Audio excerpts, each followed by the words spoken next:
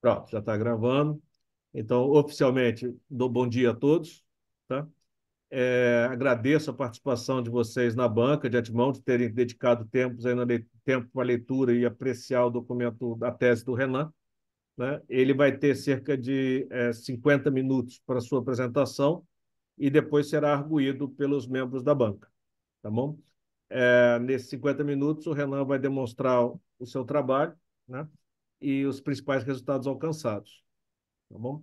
Então, Renan, eu vou, sem muita delonga, né? remoto, vou passar a palavra para o Renan e ele pode começar a apresentação. Tá bom? Então, eu vou pedir para todos cortarem o som né, para evitar qualquer ruído e o Renan fica com voo solo aí. Renan, a palavra é sua. Bom dia a todo mundo. Obrigado por participar da banca. É, o tema da minha tese é fibra oca composta de alumina recoberta com zeólito DD3R para o fracionamento da mistura CO2 metano. Eu dividi a minha apresentação em motivação, objetivo, contextualização em estado da arte, metodologia e resultados de conclusão. Atualmente, a demanda por gás natural tem aumentado em, dois, em torno de 2,5% ao ano. E as concentrações de CO2 no gás natural pode variar até 80%, em função da exploração de reservas de menor qualidade e uso de técnicas como recuperação avançada de petróleo. Altas concentrações de CO2 reduzem a eficiência energética do gás natural e provocam a corrosão da tubulação. Portanto, segundo as regulamentações, ele deve ser removido até uma concentração máxima de 3% molar. Atualmente, são utilizadas membranas poliméricas para a remoção do CO2 do gás natural, pois, pois,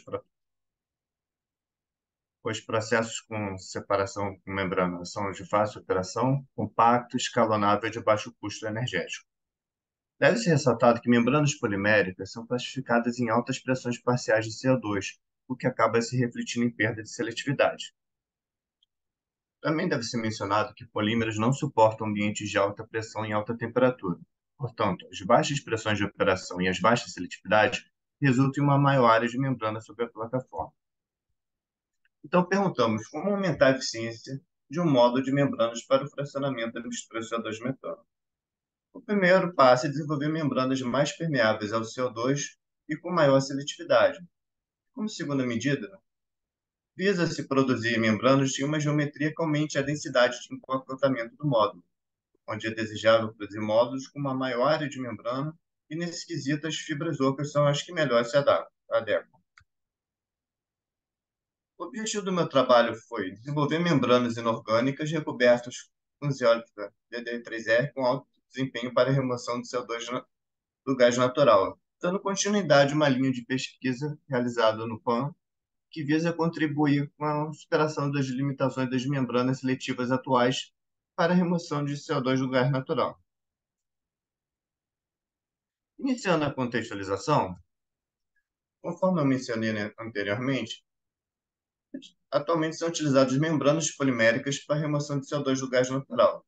São utilizadas membranas assimétricas densas, fabricadas com acetato de celulose ou polimida principalmente, e essas membranas têm como vantagens que elas são bem consolidadas nesse processo de separação, a indústria domina bem suas técnicas de produção e elas têm um baixo custo comparado com membranas inorgânicas. Como desvantagens, podemos citar a relação entre compromisso entre seletividade e permeância, a plastificação e o envelhecimento, que é a redução da permeância ao longo da vida útil de operação da membrana.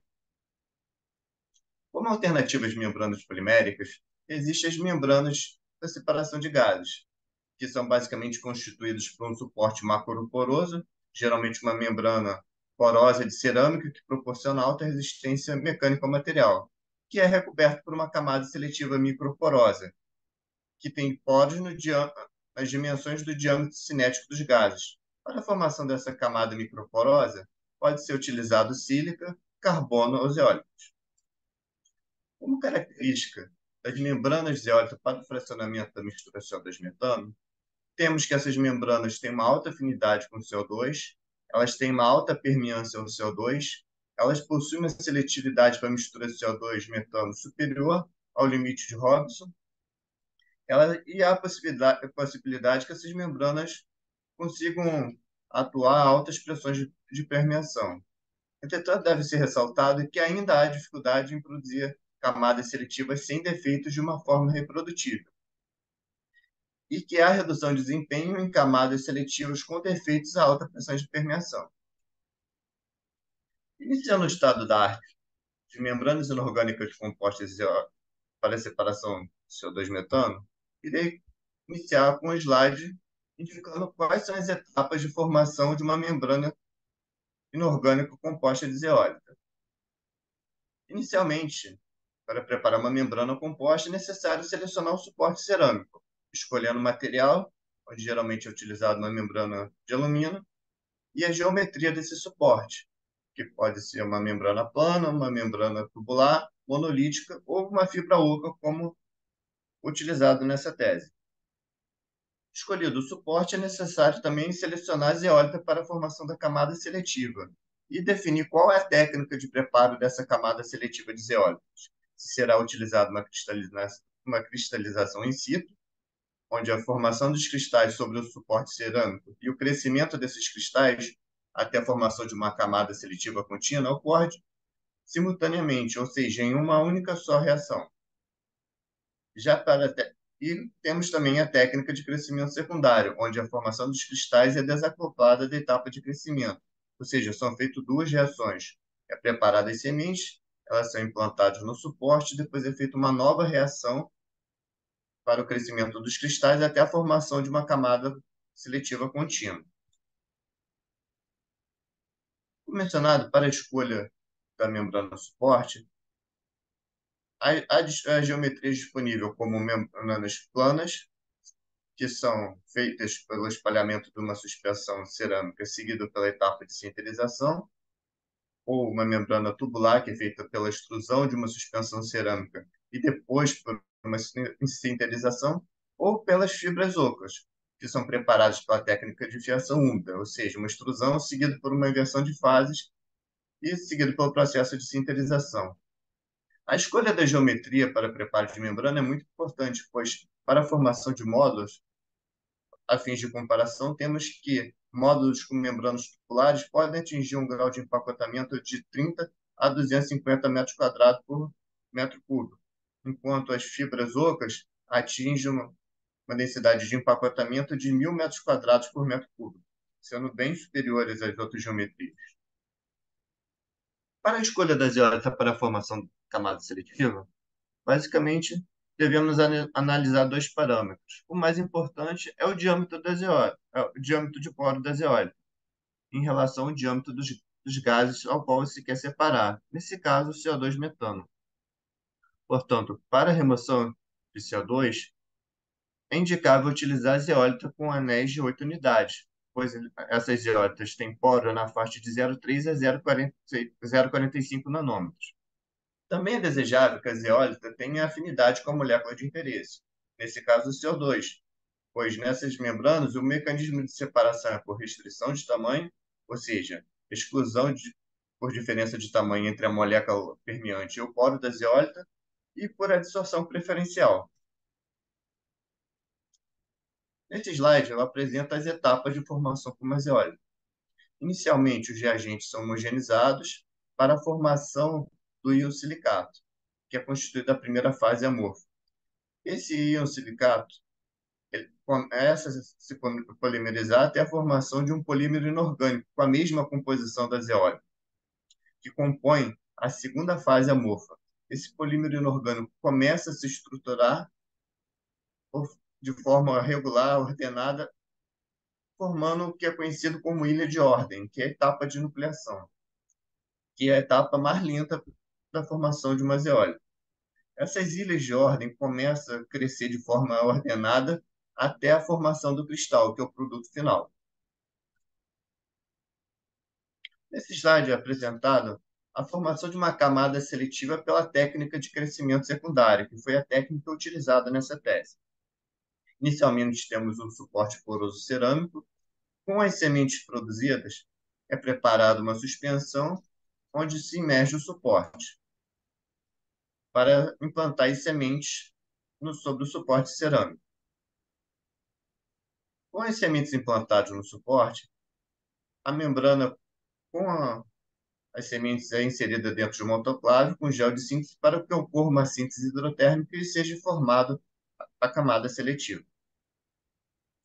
Como principais características da técnica de crescimento secundário, temos que o implante de sementes acelera a formação da camada seletiva. O uso dessa técnica também favorece a formação de uma fase da zeólita em relação às fases concorrentes. E essa técnica também utiliza uma solução mais diluída, que acaba melhorando a orientação dos cristais e se reflete em aumento de permeância. Nessa tabela é apresentado dados de membranas de zeólita para separação de CO2 metano. Nela podemos observar que foram formadas membranas com diversas zeólitas, em diferentes suportes, e a semelhança entre elas é que podemos observar uma alta seletividade para mistura CO2 metano, tendo seletividades acima de 120 até uma faixa de 500. E também uma alta permeância ao CO2, com permeâncias acima de 100 GPUs. Ao comparar o diâmetro de poro das eólicas, observamos que o diâmetro de poro das eólicas DD3R é menor quando comparado com as demais, sendo mais próximo ao diâmetro cinético do CO2, o que acaba favorecendo a formação de membranas com melhores seletividades. Como características das eólicas DD3R, temos que é uma zeólita com anéis de oito membros, com poros de 0,36 por 0,44, conforme apresentado nessa imagem. É uma zeólita de sílica pura, ou seja, é um material hidrofóbico. Ela tem uma alta afinidade com o CO2 e ela possui menor volume de agente formador de estrutura na sua morfologia, que quando comparado com as demais zeólitas, isso é interessante porque após a fase de remoção do agente formador de estrutura dentro do poro da zeólita, ela tem uma menor tendência a formar defeitos quando comparado com membranas de outras eólicas. E na literatura também há dados que comprovam que essa membrana pode formar camadas seletivas que suportem altas pressões permeação com bom desempenho, exemplo da membrana monolítica produzida por, por Okazaki. Como desafios para a produção de membranas de DD3R, temos o primeiro desafio é minimizar a formação de defeitos na camada seletiva durante a síntese endotérmica. O segundo, o próximo desafio seria formar uma camada de zeólitas com apenas uma fase, a fase DD3R, pois durante a síntese endotérmica pode ocorrer a formação de fases concorrentes, como a zeólita SGT ou a zeólita POH. Outro desafio também é reduzir o tempo de, de remoção da adantanamina, que é o agente formador de estrutura dessa zeólita, utilizando a degradação térmica em uma atmosfera mais oxidante a uma temperatura mais baixa, tendo como objetivo preservar a camada seletiva. Remoção de agentes formador de estrutura de zeólitas é feito por degradação térmica em ar a alta temperatura, geralmente. E esse tratamento térmico demora algumas horas, enquanto uma degradação térmica em atmosfera mais oxidante a temperaturas mais baixas leva dias. E, como um último objetivo, seria produzir membranas que mantenham alto desempenho em elevadas pressões de permeação.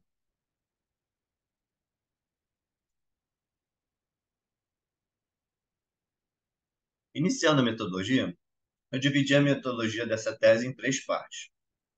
Na formação da, da membrana em formato de fibra óptica de alumínio, na formação dos cristais de óleo TP3R que serão utilizados como semente e na formação da camada seletiva. Para formar a fibra oca de alumínio, foi utilizada a técnica de fiação úmida.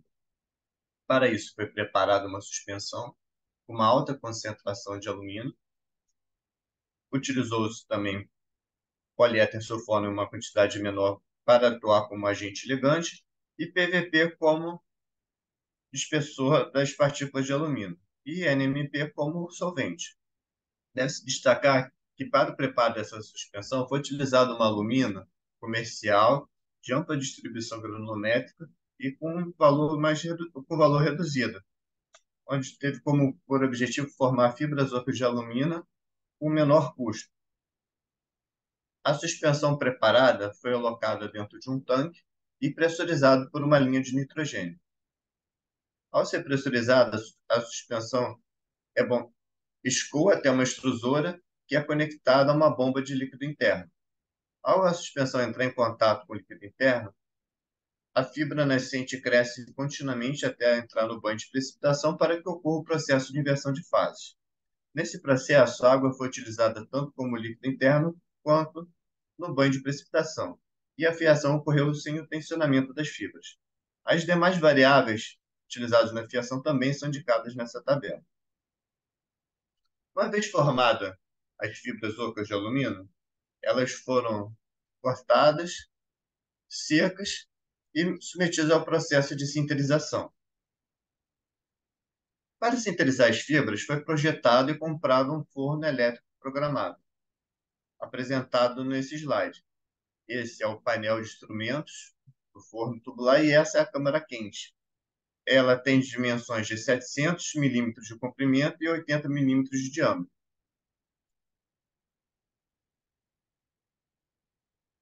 Nesse slide são apresentadas as taxas de aquecimento e os platôs utilizados na curva de sinterização para sinterizar as fibras precursoras. As fibras inicialmente foram aquecidas da temperatura ambiente até 200 graus Celsius e manteve esse platô de temperatura por uma hora para a remoção do solvente residual. Em seguida, as fibras foram aquecidas até 600 graus Celsius e manteve esse platô de temperatura por duas horas para a degradação dos polímeros.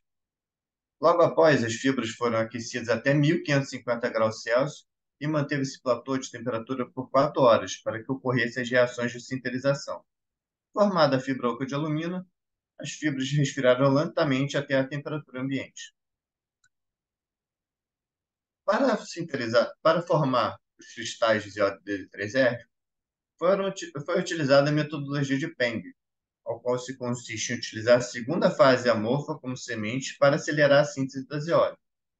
Utilizando essa técnica, foi possível produzir cristais da zeólita D3R em apenas quatro dias, enquanto a síntese tradicional sem sementes iria demorar 25 dias.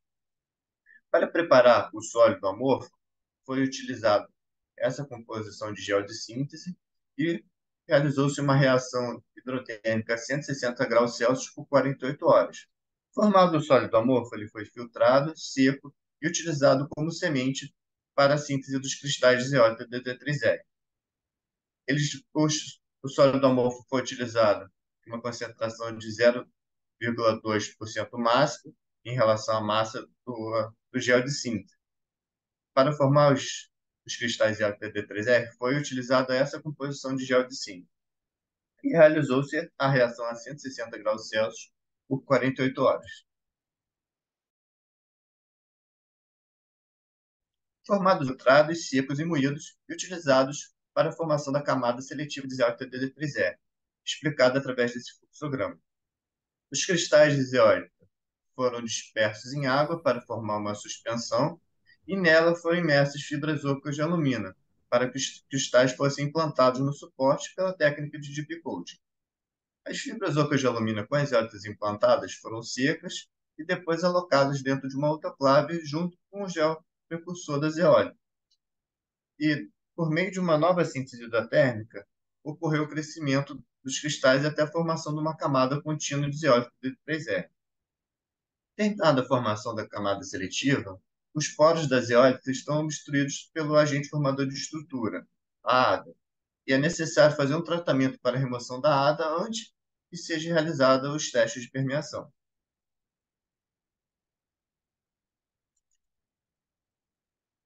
Para preparar as camadas seletivas, foram avaliadas condições experimentais. Nessa fase, os parâmetros investigados foram a composição do gel de síntese, a velocidade do crescimento dos cristais está atrelada à temperatura de reação e o tempo de reação, e a quantidade de sementes implantadas no suporte, que está atrelada à concentração da suspensão de deep coating e o tempo de imersão. Alterando essas condições experimentais, foi feitas análises experimentais baseadas em revisão da literatura. E a partir de vários experimentos, eu cheguei à produção de sete lotes de membranas. Para isso, foram utilizadas três, três composições de gel de síntese, três temperaturas de reação, dois tempos de síntese e três concentrações de sementes, assim como a variação também do tempo de imersão. Uma vez formada as camadas seletivas de D3R, como eu mencionei, é necessária a remoção da adantanamina dos poros. O tratamento tradicional para remoção da ADA dos poros de D3R é uma degradação térmica em A 700 graus Celsius. Entretanto, para membranas, essa metodologia forma defeitos na camada seletiva, pois a 700 graus Celsius a fibra oca de alumina se expande enquanto a camada de COTDD3R se contrai. Essa diferença de comportamento térmico entre contração e expansão forma fraturas na camada seletiva, formando membranas sem seletividade. Como alternativa à degradação térmica em ar, nesse trabalho optou-se pelo tratamento térmico utilizando uma atmosfera mais oxidante, uma mistura de ozônio e oxigênio, e utilizou uma temperatura de degradação de 200 graus Celsius. Também foi utilizada uma vazão de mistura de 1 litro por minuto e uma concentração de ozônio de 56 miligramas por litro. Removida a dantanamina dos poros da zeólita, as membranas estão aptas para experimentos de permeação com gás. Para isso, foram preparados módulos com apenas uma fibra, e esses módulos foram inseridos em uma célula de permeação, onde a câmara do permeado é conectada a um transdutor de pressão que acumula dados de pressão permeado por tempo. E a partir desses dados foram feita a determinação da permeância das membranas para o CO2 e para o metano, que foi calculada a partir dessa equação. Calculada a permeância do CO2 e do metano, foi calculada a seletividade ideal. Os resultados do meu trabalho foram divididos também no preparo das fibras oca de alumínio na síntese dos cristais de DD3R, na formação das camadas seletivas de zeólito DT3R e nos experimentos de permeação com gases. Iniciando pelos resultados das fibras ocas de alumínio. Foram preparados diversos lotes, em média, cada lote de membrana teve 15 fibras ocas com um comprimento de 20 centímetros. Foi observado por fotomicrografia que as membranas tiveram um diâmetro externo de 1,5 milímetros e um diâmetro interno aproximadamente de 0,8 milímetros. Também foi observado, por fotomicrografias, que todas as membranas produzidas nesse trabalho tiveram uma morfologia em formato de esponja, conforme observado nessa fotomicrografia. Em função dessa morfologia, as fibras ocas tiveram uma alta resistência mecânica, o que foi comprovado pelo teste de dobra em três pontos, onde a resistência a fricção calculada foi de 177 megapascal aproximadamente. Também devido à morfologia em formato de esponja, sobre a superfície dessas membranas foram formados poros com diâmetro de 0,7 micrômetros, o que é compatível com uma membrana de microfiltração. As fibras ocas de alumínio também foram caracterizadas por experimentos de permeação de gás e foi observada uma permeância ao nitrogênio de 136 mil GPUs os resultados referentes à formação dos cristais de zeólita DD3R. Nesse slide é apresentado tanto o difratograma quanto as fotomicrografias dos cristais zeólita DD3R. No difratograma, podemos observar que os pontos obtidos experimentalmente são coincidentes com os pontos calculados, ou seja, do banco de dados, indicando que que foi formada a fase pura da zeólita DD3R nessa etapa. Ao lado é apresentada a fotomicrografia dos cristais de zeólita DD3R, onde podemos observar cristais com essa morfologia bipiramidal, que é a morfologia típica dessa zeólita. Também podemos observar pela escala da fotomicrografia que foram formados cristais grandes. Portanto, antes de utilizar esses cristais como sementes, implantá-los no suporte, eu realizei a moagem das zeólitas. E após a moagem, eu fiz a caracterização do tamanho de partículas. Após a moagem, podemos observar pela distribuição granulométrica das sementes que o diâmetro médio das partículas ficaram entre 4,9 micrômetros. Após a moagem das partículas, também foi feito teste de adsorção para comprovar a alta afinidade do, da zeólita pelo CO2, e foi calculado um coeficiente de 28,2 gramas de CO2 por quilograma de zeólita, que é um valor seis vezes superior à quantidade de metano absorvido na zeólita, indicando, conforme esperado, a alta afinidade do CO2 pela zeólita. Os resultados referentes à formação da camada seletiva. O primeiro parâmetro analisado foi o efeito da concentração do gel de síntese. Para a formação da membrana do C1, foi utilizada uma composição de gel de síntese igual à, composição utilizada para a formação dos cristais. E na fotomicrografia podemos analisar a morfologia de superfície das membranas produzidas nesse lote C1. Apesar de terem de ter sido usado uma temperatura de reação de 160 graus Celsius, uma temperatura alta, um longo tempo de síntese de 72 horas e duas fases de implante, ou seja, foi depositado bastante semente nesse suporte, ainda assim observou que é, sobre a superfície do suporte foi formada uma camada seletiva descontínua, onde podemos observar diversas regiões com buracos, ou seja, nessa fotomicrografia ampliada aqui, podemos observar que sobre essas regiões não foi formado cristais, indicando áreas de descontinuidade. E isso ocorreu, pois, segundo a literatura, os íons silicatos eles têm uma maior afinidade com os íons potássio. E nessa composição, a concentração de fluoreto de potássio é maior do que a da antanamina. Então, como os íons silicatos têm uma maior afinidade com os íons potássio do que com a dantanamina, essa concentração de gel de síntese contribuiu para suprimir o crescimento dos cristais sobre o suporte e provocar a formação de novos cristais no seio da solução, onde foi observado que vários cristais foram formados no fundo da autoclave. Formado também as camadas seletivas da membrana desse lote, foi feito um teste de permeação com nitrogênio, onde, conforme eu comentei anteriormente, finalizada a síntese hidrotérmica, os poros da D3S estão destruídos pela ADA. Então, para uma membrana com uma camada seletiva contínua, espera-se que não permeie gás pela membrana. Entretanto, ao realizar testes de permeação com nitrogênio, foi observada uma alta permeância, provocada pela permeação pelos defeitos intercristalinos.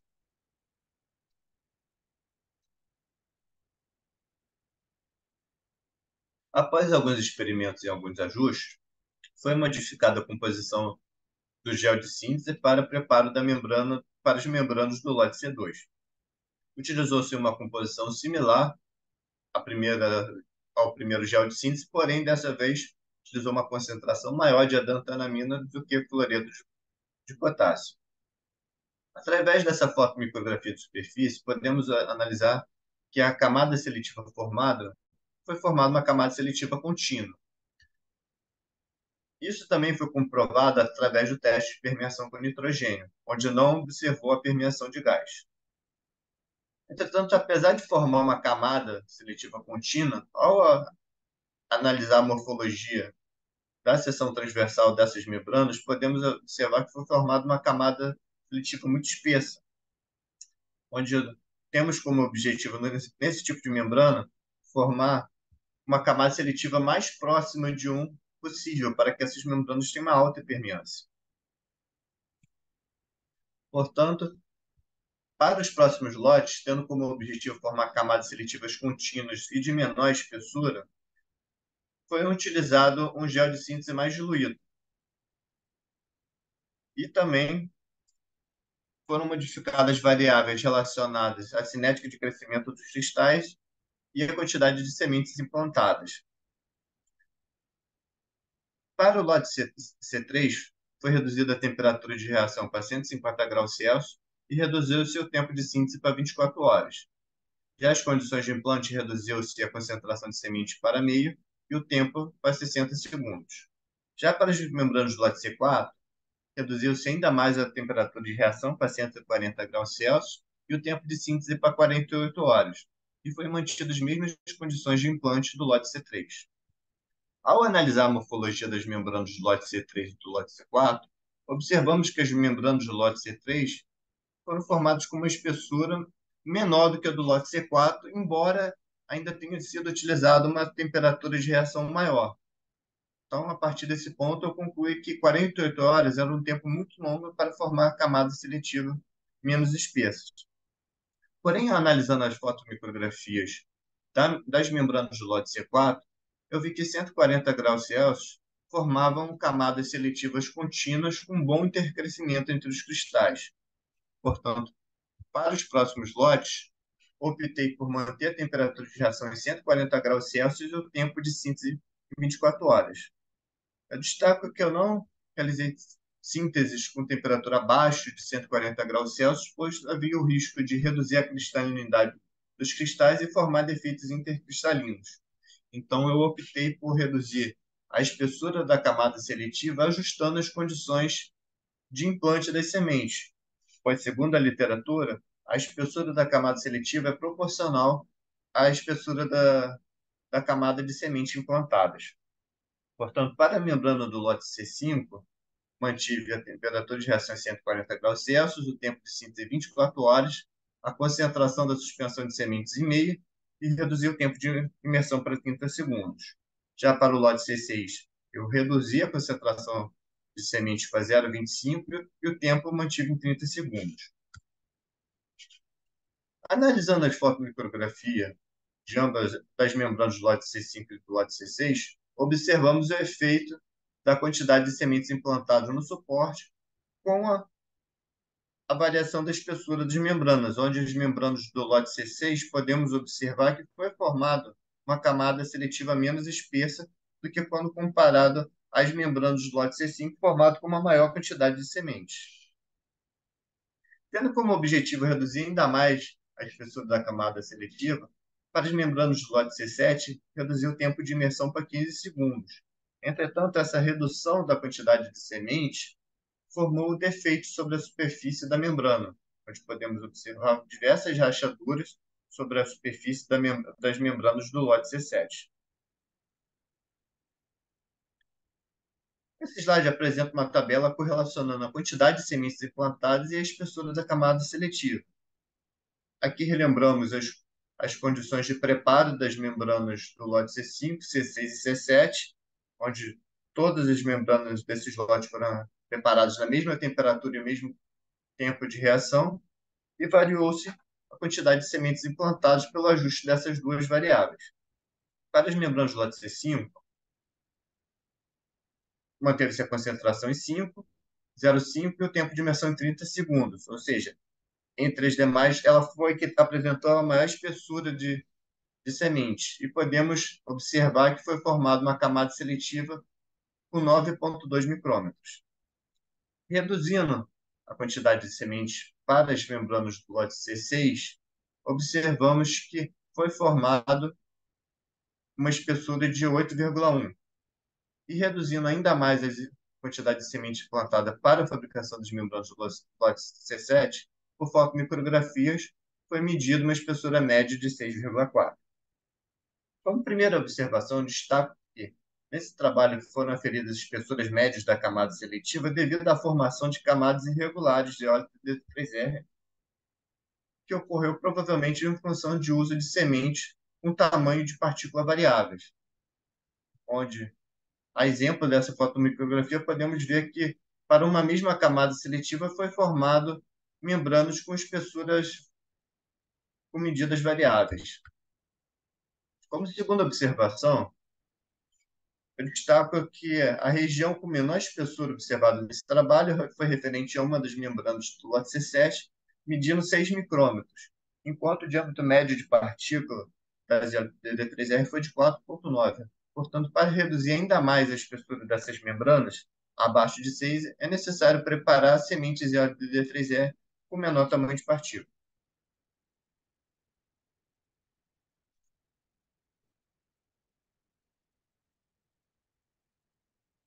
Nesse slide, eu apresento a correlação entre o tempo de síntese e a formação de uma fase concorrente da zeólita D3R, a Relembrando as condições de preparo para a membrana do lote C4 e para as membranas do lote C5, temos que as membranas do lote C4 foram produzidas a 140 graus Celsius por 24 horas, e as membranas do lote C5 foram produzidas a 140 graus Celsius por 24 horas.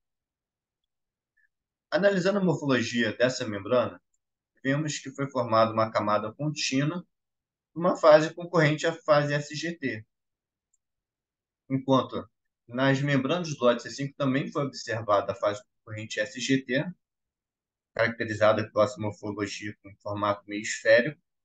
Foi, ela foi formada em boa parte da superfície da membrana do lote C5 em clusters, mas ainda observamos regiões onde é predominantemente ocupada pela zeólite do D3R, indicado pelos esses cristais em formatos bipiramidais aqui.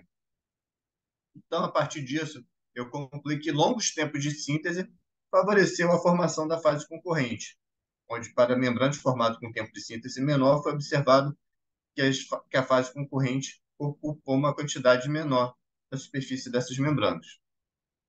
Nesse slide, faço a correlação entre a quantidade de sementes e a formação da fase concorrente SGT. Aqui é novamente apresentada a fotomicrografia de superfície da membrana do lote C5 e aqui é apresentada a fotomicrografia de superfície das membranas C6. Relembrando as condições de preparo, ambos os lotes foram preparados a 140 graus Celsius, uma, uma tempo de reação de 24 horas, porém, para formar as membranas do lote C6, foi utilizada uma quantidade menor de semente.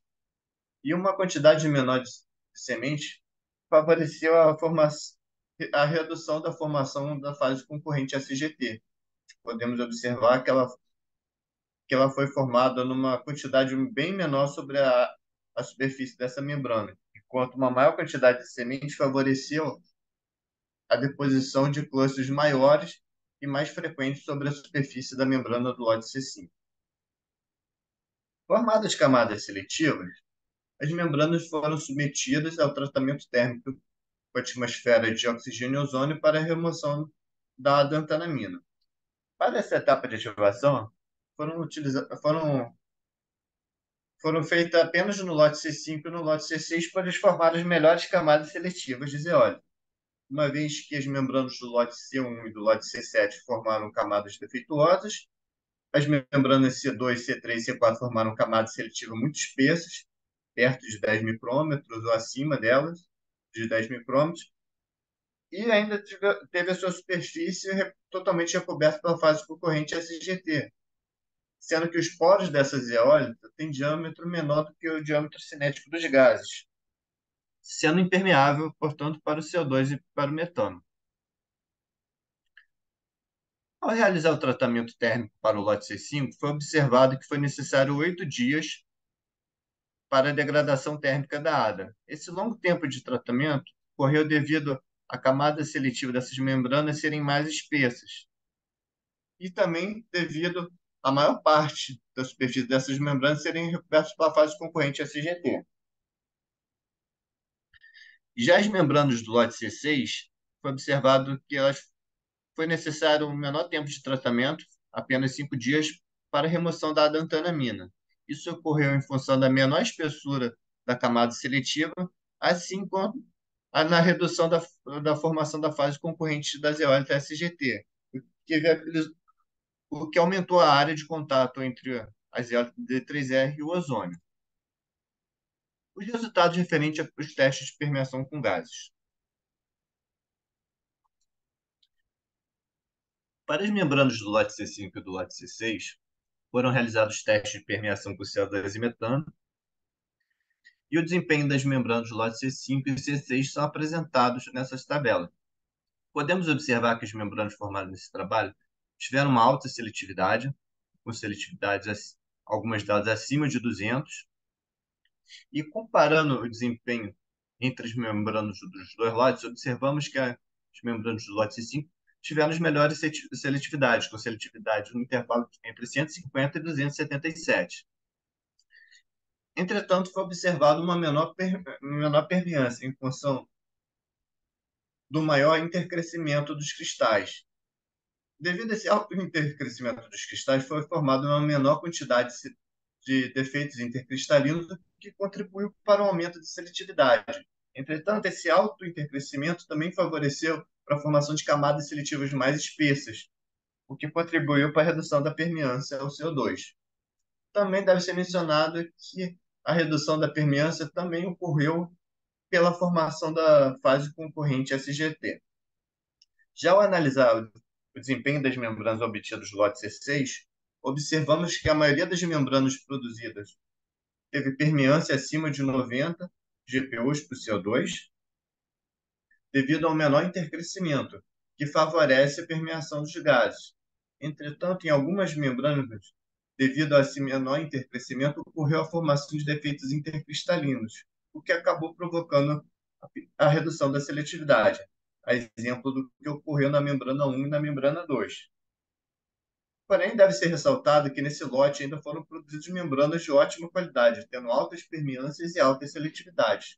A exemplo da membrana 3 desse lote, ao qual se obteve uma permeância de 160, uma seletividade de 203, e a, e a membrana 5, ao qual teve uma permeância ao CO2 de 94 GPU e uma seletividade de 84.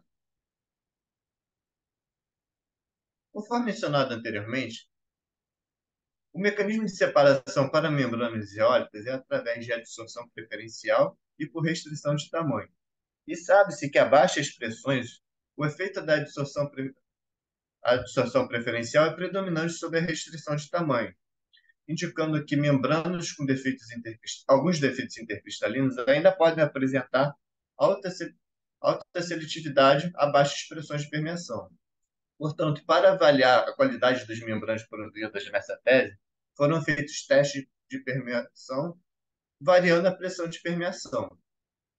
Nesse slide é apresentado os testes de desempenho para a membrana C6 DD3R1, que é uma membrana que apresenta defeitos intercristalinos, e a membrana C6 DD3R3, que foi a melhor membrana produzida nessa tese. Ao comparar os testes de desempenho, podemos observar que na membrana C6DD3R1 é uma membrana que possui uma alta permeância de 200 GPUs e que ela, essa permeância ela é reduzida ao longo do tempo conforme aumenta-se a pressão de permeação. O que é, é um fenômeno também que ocorre na, na outra membrana C6DD3R3. Esse comportamento é observado em todas as membranas de zeólita, pois conforme aumenta-se a pressão de permeação, aumenta a saturação dos sítios ativos, o que acaba diminuindo a contribuição para a dissorção preferencial. Porém, ao analisar a permeância do metano, observamos que ela aumenta com o aumento da pressão de permeação, pois conforme aumenta-se a pressão, o metano permeia mais facilmente pelos defeitos da, os defeitos presentes na camada seletiva, ou seja, os poros não zeolíticos. Comparando a reta de seletividade nos gráficos de desempenho para ambas as membranas, observamos que a membrana com defeitos intercristalinos há uma rápida redução de seletividade com aumento da pressão, tanto em função da, da redução da permeância do CO2 pela saturação da zeólita, quanto pelo aumento da permeância do, do metano pelos defeitos intercristalinos. Porém, para a membrana C6-3R3, podemos observar que há também a redução da seletividade, porém ela, essa redução ocorre de forma bem gradual, em função da saturação dos sítios ativos da zeólita, onde é reduzida a permeância do CO2, portanto, também é reduzida a seletividade. E podemos observar que mesmo a uma pressão mais alta, uma pressão de 9 bar, podemos ainda observar uma seletividade superior a 100, indicando que foi produzida uma membrana de ótima qualidade. O dado de desempenho da membrana CCX-DD3R3, produzida nesse trabalho, foi comparado com o desempenho de membranas de óleo D3R obtidas na literatura, apresentados nessa tabela. Nela podemos observar membranas produzidas em diversos suportes, suportes tubulares, monolíticos, membranas planas, também comparando os dados, podemos observar que as membranas produzidas com suporte assimétrico têm uma maior permeância ao CO2, pois elas utilizam um suporte que tem uma maior porosidade e menor tamanho de, de poros sobre a sua superfície, o que acaba contribuindo para a utilização de sementes de menor diâmetro e formar camadas seletivas menos espessas. Porém, ao comparar os dados de desempenho da membrana produzida no, no meu trabalho com membranas simétricas, observamos que temos um bom desempenho, sendo superior, por exemplo, à membrana produzida por Wang. E também devemos notar o suporte produzido dessas membranas, uma vez que, dentro do meu conhecimento, o meu trabalho foi o único a produzir uma fibra oca com apenas um lume recoberto por isólitos DD3R, enquanto a maioria dos trabalhos na literatura foram feitos em membranas tubulares. Isso faz uma grande diferença ao preparar módulos, pois com a fibra oca é possível ah, formar módulos com alto grau de empacotamento, sendo muito superiores aos, ao grau de empacotamento do, de módulos formados com membranas tubulares, compensando até mesmo a maior permeância de um suporte assimétrico. Iniciando as conclusões obtidas nesse trabalho, podemos destacar que foram produzidas fibras ocas de alumínio de alta permeância e alta resistência mecânica a partir de uma alumínio de, alta, de distribuição granométrica e um baixo valor comercial. Ou seja, foi possível produzir uma fibras ocas de alumínio de boa qualidade utilizando um alumínio de menor custo. A espessura das camadas seletivas foi ajustada pela espessura da camada de sementes implantadas no suporte. Podemos também concluir que a quantidade de sementes implantadas no suporte contribui para a formação da fase concorrente SGT. A formação de membranas de alto desempenho depende de ajuste de parâmetros, como o implante das sementes, da composição do gel de síntese, do tempo de reação e também da temperatura de reação. Nessa tese, foram produzidas membranas de alto desempenho, como a membrana C6DD3R3, que apresentou seletividade igual a 203 e uma permeância ao CO2 igual a 160 GPUs. Os resultados apresentados nessa tese ressaltam o potencial das fibras ocas de alumínio recobertas por DT3R como candidatas promissoras para a separação da mistura CO2-metano.